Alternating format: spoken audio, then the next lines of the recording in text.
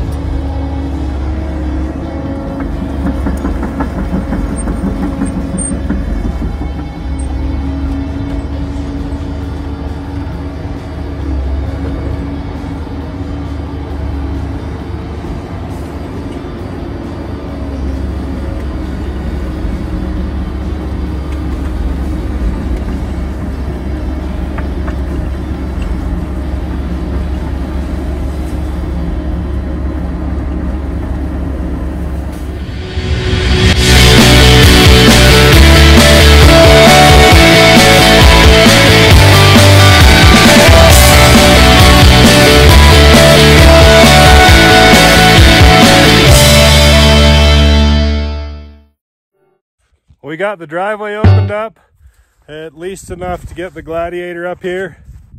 Uh, so we don't have to walk up the driveway in three feet of snow. Uh, we'll go ahead and clear some of the snow off the building site here. Uh, the reason we've waited until now is we wanted to wait until the freezing temperatures were pretty much over with because the snow provides a good insulation blanket uh, so we don't have to deal with much frost. Uh, we could actually get going sooner that way than if we would have kept it plowed off all winter, which would have been unnecessary. This is where our home will be, right in this area. Uh, we actually picked our lot out before we even started designing our home with Walker Home Designs. Uh, the house is designed to fit this lot and to fit the elevations and the contours on this lot and the theme kind of is pretty mountainy to match the Uinta Mountains where we're building.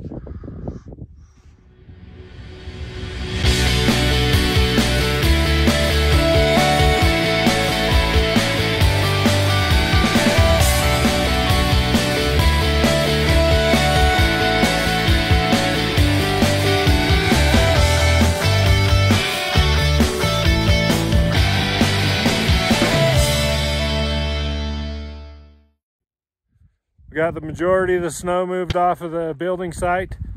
Uh, that's good enough for now. We got a couple more really nice warm days coming, so we'll come back up in a day or two, uh, see how everything's looking, see how the rest of the melt's going.